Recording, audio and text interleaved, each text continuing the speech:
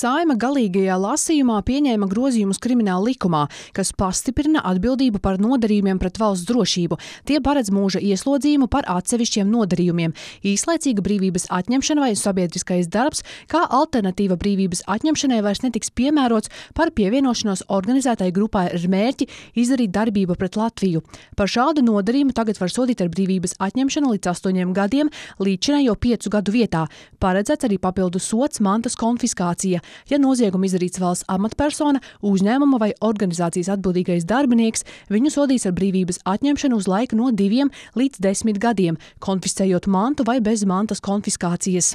Par palīdzības sniegšanu ārvalstniekam ārvalstu organizācijai vai valstī darbībās pret Latviju varēs sodīt ar brīvības atņemšanu uz laiku no viena līdz desmit gadiem, ja palīdzību ārvalstī sniegs personu grupa, uzņēmuma vai organizācijas amatpersona vai atbildīgais darbinieks, vainīgo personu sodīs ar brīvības atņemšanu atņemšanu uz laiku no 3 līdz 20 gadiem. Tiks pastiprināta arī atbildība par spiegošanu. Likuma grozījumi arī pastiprina iespējamo sodu par nepatiesu draudu izteikšanu par it kā uzstādītām sprākstvielām. Pašlaik maksimālais sots par šādu nodarījumu ir 3 gadi cietumā, taču nākotnē maksimālo sodu plānots palielināt līdz 4 gadiem cietumā. Nedēļas sākums Latvijā sākās ar spēcīgu snikšanu. Tas kļuva par galvas sāpēm ne tikai autovadītājiem, bet arī dienestiem, kas atbild par ceļu uzturēšanu. Diemžēl šoreiz ne visi no tiem tika galā ar saviem pienākumiem. Tā nedēļas pirmajā pusē pa Augstdogavas novada ceļiem nevarēja izbraukt skolas autobuss. Ir skaidrs, ka no ceļu uzturēšanas kvalitātes ir atkarīga arī ceļu satiksmes drošība. Lielā sniega daudzuma laikā Latvijā negadījumu skaits pieauga vairāk kārtīgi. Vienu traģisku ceļu satiksmes negadījumu, kurā gāja bojā 16 gadus veca veca meitene izraisīja 91 gadu vecs autovadītājs. Pēcāk sabiedrībā sākās diskusija par to, vai veciem cilvēkiem vajadzētu vadīt transporta līdzekļus. Šīs diskusijas ietvaros ceļu satiksmes drošības direkcijas eksperts Mārtiņš Malmeisters norādīja, ka vecāka gadagājuma cilvēki nav bīstamākie autovadītāji uz ceļiem. Runājot par konkrētām negadījumu statistikas tendencēm, viņš atklāja, ka jauniešu vecumā no 18 līdz 25 gadiem ir daudz bīstamāki autovadītāji nekā gados vecāki cilvēki. Jāatzīmē, ka saskaņā ar Latvijas Republikas ceļu satiksmes likumu transporta līdzekļu vadītājiem ik pēc desmit gadiem un pēc 60 gadu vecuma sasniegšanas ik pēc trim gadiem ir jāveic veselības pārbaude. Šonadēļ Daugopils pašvaldības iestādēs un uzņēmumos kļuva zināms par personāla iecelšanu amatā. Tā Daugopils Olimpiskā centra direktors Andris Morozovs iecelts pilsētas spīdevēja kluba lokomotīva prezidenta amatā. Līdz šim kluba vadītājs bija Edgars Kucins. Kā norāda biedrības Speedway Grand Prix of Latvija, dibinātāji Andrim Morozovam ir liela pieredze sporta un jaunatnes izglītības jomā. Viņš ir biedrības par sportisku sabiedrību vadītājs. Savukārt jūlijā viņš tika iecelts par Daugopils Olimpiskā centra vadītāju.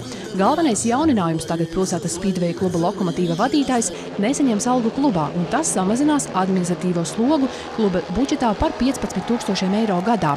Tuvākajā laikā klubs izveidos arī pilnvaroto konsultatīvo valdi, kurā darbosies pilsētas mērs Andrēs Elksniņš, Latvijas Motosporta federācijas treka komisijas vadītājs Vladimirs Ribņikovs, sporta komentētājs Anatolijas Kreipāns un sabiedrības pārstāvis Vladimirs Vagels. Tāpat pašvaldības deputāti sēdēja apstiprināja konkursu komisijas lēmumu iecelt Astrīdu Lešķinsku par kultūras pils vadītāju. Līdz šim šīs kultūras iestādes vadītāju pienākumu izpildītājs bija Harijs Vucins. Saima galīgajā lasījumā pieņēma grozījumus policijas likumā, kas paredz, ka no 2024. gada 1. janvāra pašvaldības policija ir jāizveido katrā valsts pašvaldībā. Tām pašvaldībām, kurās līdz šim šādas struktūras nav bijis, ir trīs iespējas to izveidot un finansēt. Tādējādi būs iespējams izveidot vai nu savu pašvaldības policiju, vai arī vienu policiju vairākām pašvaldībām, vai arī deleģēt visus pašvaldības policijas uzdevumus citai pašvaldībai. Kā zināms, Daugopilī ir pašvaldības policija, Augstdogavas novadā tādas nav Nav arī līdzekļu lielas struktūras izveidē, lai gan novada teritorija to pieprasa.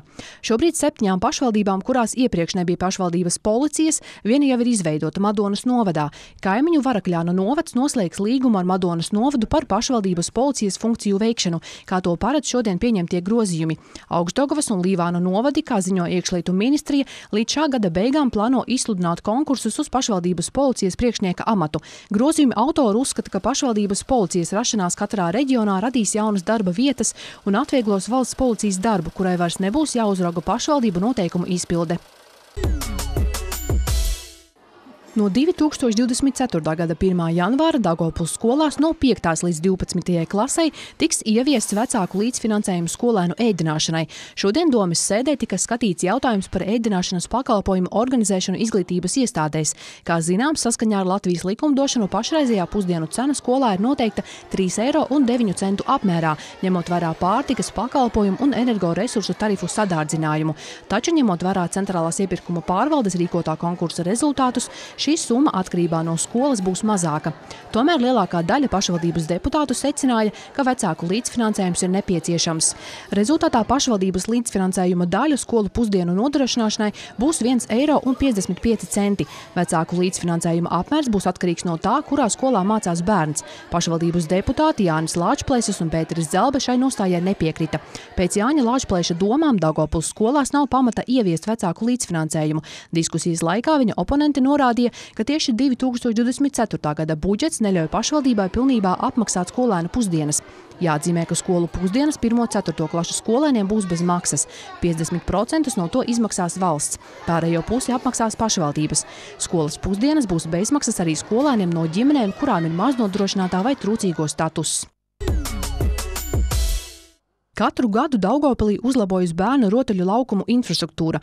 Parādās jauni rotaļu laukumi ne tikai centrā, bet arī apkaimēs, kā arī tiek atjaunoti agrāk ierīkotie rotaļu laukumi. Šie projekti tiek īstenoti pašvaldības programmas ietvaros, bet ne tikai. Pēdējā domas sēdē deputāti izskatīja labdarības fonda zīļuks iesniegumu dāvināt pilsētai bērnu rotaļu laukumos uzstādāmās iekārtas. Šī aprīkojuma izmaksas ir 23 369 eiro. Komunālās saimniecības pārvalde noteiks, kuri no pilsētas bērnu rotaļu rotaļu laukumiem tiks aprīkoti nākamajā gadā, kurus pēc tam uzturēs komunālā saimniecības pārvalde. Daugopilī atgriežas Ziemassvētku un Jaungada ēku un blakus esošo teritoriju rotāšanas konkurss. Šogad tas notiks ar devīzi Daugopils te dzīvo prieks. Konkursa mērķis ir izstrādāt un realizēt Ziemassvētku rotājumu dizainu logiem, skatlogiem, ēku fasādēm un pieguļošajām teritorijām. Dome aicina ikvienu interesantu piedalīties pilsētas svētku noformējuma procesā, izmantojot bantes, saldumus, konfektes, pīparhūkas sarkano zaļo krāsu kombinācijā ar zeltu un sudrabu. Konkursa darbi tiks vērtēti četrās kategorijās kategorijās - pilsētas izglītības iestāžu dekorēšana, pakalpojumu, tirzniecības un finanšu pakalpojumu uzņēmuma dekorēšana, rūpniecības uzņēmuma dekorēšana un privāto daudzdzīvokļu māju un tām pieguļošo teritoriju noformējums. Nosakot uzvarētājus, tiks ņemta vērā šādi kritēriji - dizaina atbilstība Ziemassvētku tematikai un noskaņai, konkursa devīze, pārstrādātu materiālu izmantošana Ziemassvētku noformējumā un idejas oriģinalitāte un kompozīcija, noformējuma sadarbība ar ēkas arhitektūru un apkārtējo vidi. Pieteikumus var iesniegt Daugopils valsts pilsētas pašvaldības informācijas birojā Krišjāņa Valdemāra ielā 1 vai pilsētu plānošanas un būvniecības departamentā Raņa ielā 28 no šā gada 14. decembra līdz 29. decembrim. Dokumentiem jāpievieno izrotātā objekta fotogrāfijas, kas uzņemtas no dažādiem leņķiem gan dienā, gan vakarā. Pieteikumu varat nosūtīt arī elektroniskus ppdep.daugopils.lv. Pieteikumu veidlapu var atrast pilsētas domas tīmekļa vietnē daugopils.lv. Konkursa rezultāti tiks paziņoti 2024. gada 19. janvārī.